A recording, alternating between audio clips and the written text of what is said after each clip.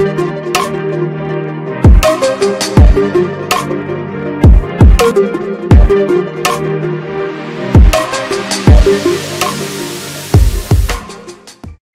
আলাইকুম। সুপ্রিয় শিক্ষার্থীবৃন্দ নবেশন মডেল স্কুল অনলাইন ক্লাসে আপনাদের স্বাগত। আমি আপনাদের সাথে আছি মোহাম্মদ আব্দুর রাজ্জাক খান। আমি এখন যে বিষয়টি আপনাদের সাথে আলোচনা করতে চাচ্ছি টপিকসটি হচ্ছে adjective adjective is very very important part for English ইংলিশের জন্য আমাদের অ্যাডজেক্টিভ এই টপিক্সটি অত্যন্ত গুরুত্বপূর্ণ। আমাদের সকলের এই টপিক্সটি অত্যন্ত ভালোভাবে জানাটা খুবই জরুরি। আমরা এটাকে সহজভাবে শেখার জন্য আমরা কিছু বিষয় নিয়ে আলোচনা করব। সেই বিষয়টি হচ্ছে, প্রথম, প্রথমত আমাদেরকে জানতে হবে যে এই what is the definition of adjective অ্যাডজেক্টিভটি কাকে বলে? অ্যাডজেক্টিভ আমরা কীভাবে চিনব? তারপরে অ্যাডজেক্টিভ কত প্রকার ও কী কী? প্রত্যেক প্রকারের সংজ্ঞা সহ উদাহরণ আমাদেরকে জানতে হবে।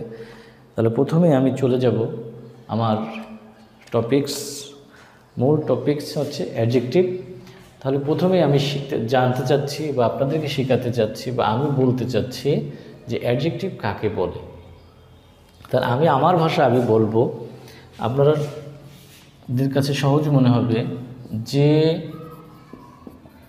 পার্টস অফ স্পিচ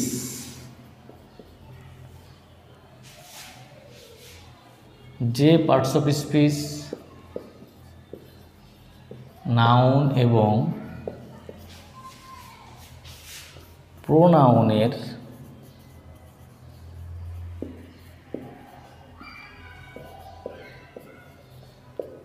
দোষ গুণ অবস্থা সংখ্যা বা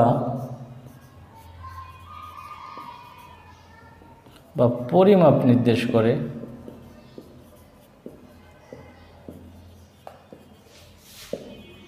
তাকে অ্যাডজেক্টিভ বলে।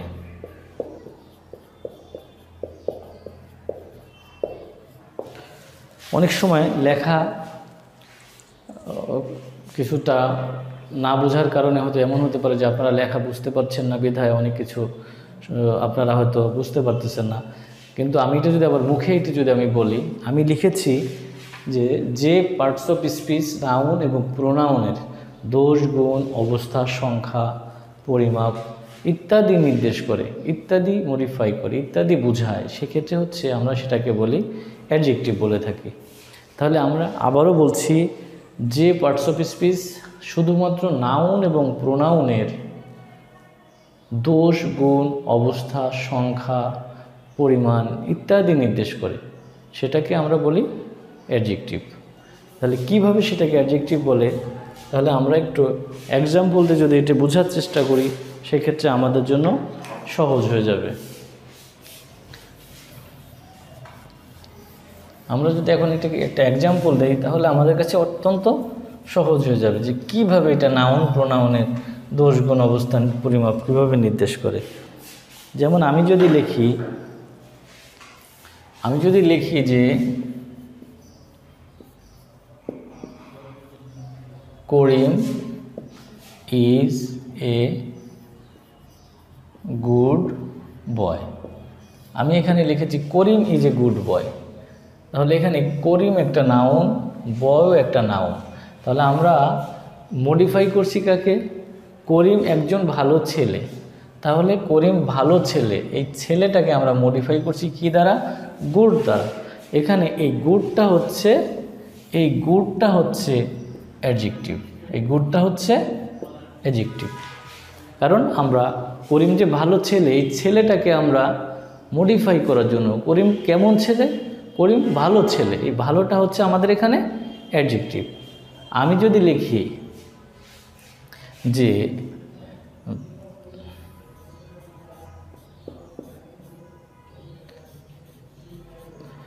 মিথুন is a bad boy Mithun একটি খারাপ ছেলে। আমি জাস্ট সহজ ভাষায় আপনাদেরকে বোঝানোর জন্য, বোধগম্য যাতে সহজে হয়, বুঝতে পারেন যাতে করে সেজন্য হচ্ছে আমি এই সহজ ওয়ার্ড ব্যবহার করছি। মিথুন যে ব্যাড বয় তাহলে এই মিথুন হচ্ছে কেমন ছেলে? মিথুন হচ্ছে খারাপ ছেলে। এই ব্যাডটা হচ্ছে এখানে অ্যাডজেক্টিভ তার মানে কি? এই বয়কে মডিফাই করছে যে মিথুন কেমন ছেলে?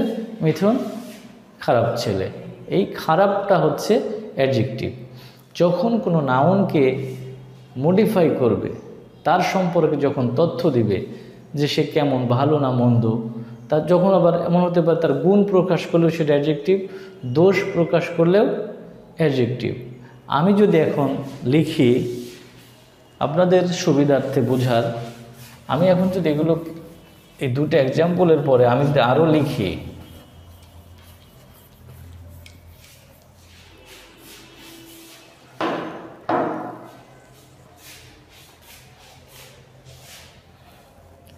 যে আমি যদি লিখি যে Mithila is a beautiful girl তাহলে এখানে আমি লিখছি যে মিথিলা যে বিউটিফুল গার্ল মিথিলার এখানে আমি একটা কোয়ালিটি প্রকাশ করেছি যে সে কেমন মেয়ে? সে খুবই চমৎকার একটি মেয়ে। সে একটি চমৎকার মেয়ে। আমি এখন যদি লিখি এইটাই কিন্তু এখানে অ্যাডজেক্টিভ আমি যদি লিখি, এই সেন্টেন্সটাকে আমরা আস্তে আস্তে অনেকভাবে লিখতে পারব। আমি যদি লিখি যে he has given a nice gift he has given a nice he has given a nice gift তাহলে এই যে নাইসটা আমরা গিফট এখানে হচ্ছে নাউন এবং সেই গিফটটা কেমন গিফট অত্যন্ত চমৎকার একটা গিফট তাহলে আমাদের এই নাইসটা হচ্ছে এখানে adjective everybody will try to understand সবাই বোঝার চেষ্টা করবেন যে অ্যাকচুয়ালি অ্যাডজেক্টিভটা কী? আমরা বোঝানোর চেষ্টা করছি যে অ্যাডজেক্টিভটা আসলে কি? অ্যাডজেক্টিভটা হচ্ছে কি, যখন কোনো নাউনের পূর্বে বসে তার সম্পর্কে কোনো তথ্য দিবে, সেটাই হচ্ছে আমাদের অ্যাডজেক্টিভ তাহলে আমার মনে হয় না যে আমাদের অ্যাডজেক্টিভটা বোঝার ক্ষেত্রে কোনো সমস্যা আছে। এক্ষেত্রে এখন আমরা যখন চলে যাব অ্যাডজেক্টিভের ক্লাসিফিকেশনে তখন আমাদের জন্য এটা আরও সহজ হয়ে যাবে। এখন আমরা শিখব যে classification of adjective classification of adjective. তাই ক্লাসিফিকেশন অফ অ্যাডজেক্টিভ মানে হচ্ছে অ্যাডজেক্টিভের প্রকারভেদ। তাহলে আমরা লিখব যে adjective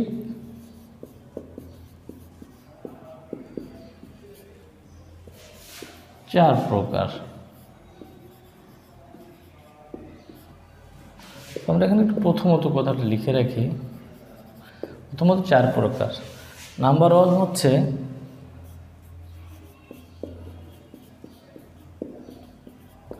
adjective of quality. Adjective of quality. এর অর্থ হচ্ছে গুণবাচক বিশেষণ। গুণবাচক বিশেষণ। নাম্বার টু হচ্ছে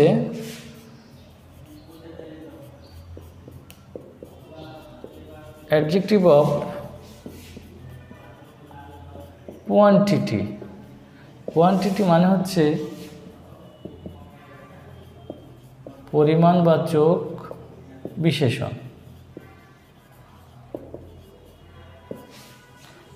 নাম্বার থ্রি হচ্ছে adjective of number adjective of number মানে হচ্ছে সংখ্যাবাচক বিশেষণ। আর নাম্বার ফোর ওটা নিচে হয়ে যাচ্ছে, তারপর আমরা লিখি প্রোনোমিনাল অ্যাডজেক্টিভ প্রোনোমিনাল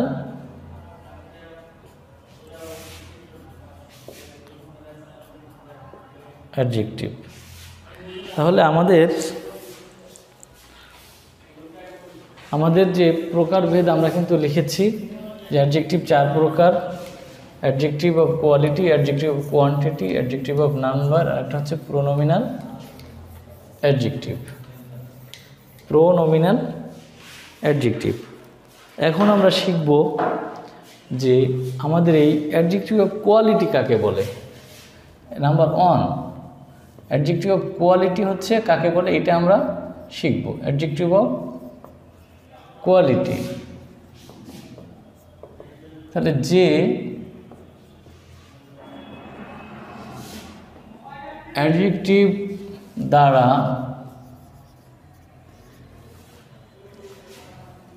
যে অ্যাডজেক্টিভ দ্বারা কোনো নাউন বা প্রোনাউনের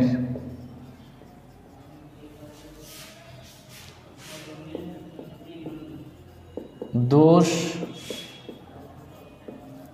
গুণ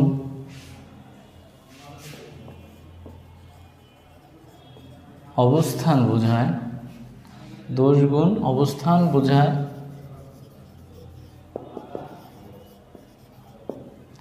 তাকে